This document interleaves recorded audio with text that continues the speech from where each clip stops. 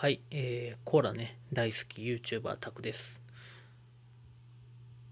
コーラ見えますか ?1.5 です。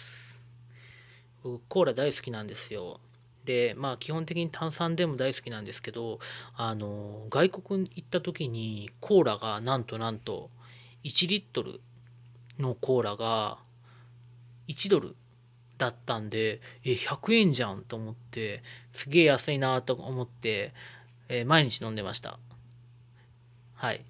外国ね、あの水よりコーラしか安いんですよ。で、これ雑学になるんですけど、水が、まあ、1.5ドルとか1.7ドル、まあ、2ドルするものもある。もちろん容量にもよるんですけど、するのに、コーラが1リットルで1ドルとかで売ってて、これすごく驚きました。ちなみにコカ・コーラじゃなかったです。えーペプシ？コカ・コーラもあったのかな？うん、よく覚えてないんですけど、とりあえず1リットルのペプシだったかなんかが1、1ドルだったんで、すごい水より安いなと思ってました。で、これ持って帰って、あの、日本に持って帰って友達に話すと、え、当たり前じゃんみたいな感じで、ええー、みたいな。コーラしか水より安いのに、なんで？みたいな。日本だったらありえないのに、とか思いながら、えーっと、今日はね、えーっと、えー、なんだろう、為替ですね。為替がなんかすごいこれ暴落してるんですよ。えー、これ何分足にしたらいいんだろうな。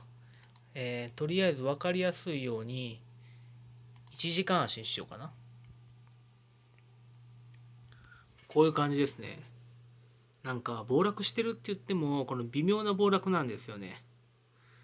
あーまあ1円いかないまあこの辺りから取ったら1円いくんだけどただまあ1日の幅で言うと1円ちょっといってないぐらいかな。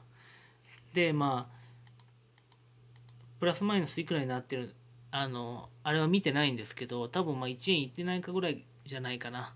この辺から取ったら全然1円いってないんでマイナス。結構ね落ちる速度が遅いんですよね。なんでか知らないんだけど。まあこの時期なんでゴールデンウィークでみんな休みなんでしょう。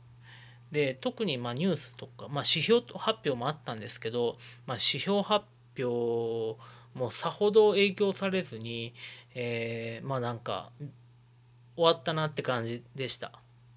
はい。でまあコーラ飲んでる感じです。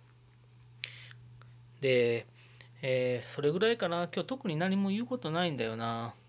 なんかゴールデンウィークモードでみんなこうのんびりしててあのえーなんか取引量も少ない感じでゆっくりしてます。でたまにはこうゆっくりした日もいいいいのかなって思いながら、えーまあ、コーラ飲んでるんですけどまあね僕ねどんだけコーラ好きかっていうとね、うん、例えばねあの外国留学した時に、えーあのピザとコーラもうこれ定番でしたからね。